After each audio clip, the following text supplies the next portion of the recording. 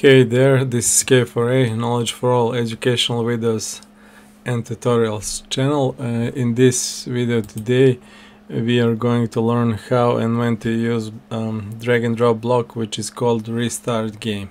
Uh, this one should be very very short and fast so let's get to it. Uh, we so far have in our game a player which can move left, right, up and uh, bottom and uh, he uh, disappears when the red um, triangle hits him when the collision between those two objects is turned on. So uh, that's all cool.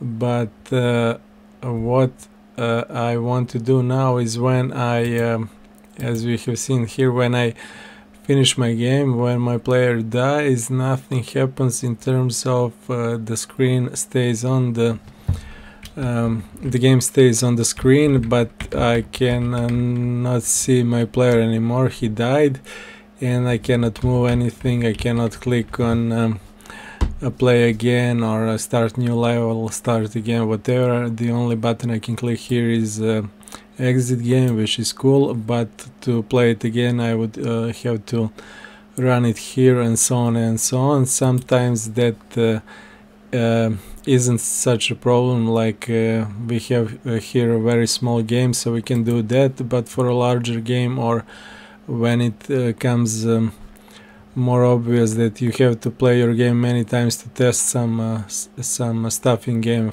level design or whatever uh, mechanics uh, then you will have to replay your game on and on uh, restart it again and again and then uh, it's not very uh, smart to start it here with run f5 it takes time so it's much more smart it's much smarter to have some kind of button again in the game which will restart your game so it would be uh, easier and faster for you that way. So let's make a restart button. So what I want to do now is uh, to make a sprite. First uh, I want to make it uh, I have uh, clicked on sprites. Right click create sprite. To make a sprite I will call it spr restart.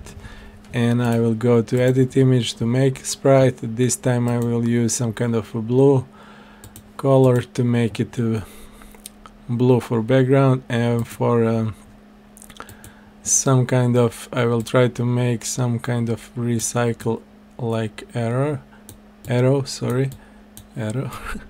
And uh, yeah it looks ugly but it will do the work. So uh, this should resemble the recycle the restart. And not so ugly. Uh, um, I need to make object of it. Uh, right click create object obj uh, btn for button underscore restart. Um, and I will add sprite. And I will add that asset into the room like this. So um, yeah it's ugly but uh, it will work. Uh, so I need to add some kind of event here and um, I need to add some kind of action then into it. First let me see uh, my other object button obj button exit. What we have used there? We have used left release. So let's use that again. As event because I want uh, oops not coin but obj button restart. So when do I want to restart the game. I want to restart the game when I click on this button. So we have to find some kind of event which defines clicking and that is of course mouse and we can uh, choose left down, left pressed or left released. Let's take left released.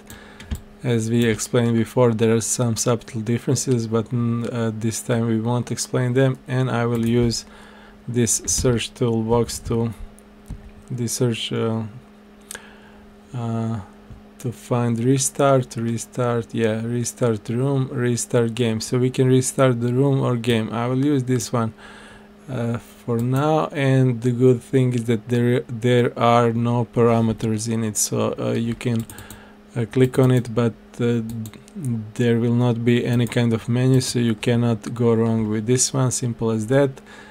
And it will restart the game when you click on it. So let's try it okay uh, the game starts. I can move left and uh, right but I will die when I touch the red. Okay now I cannot move. I don't have a player. Okay that was fast. Let me try again. And that's it.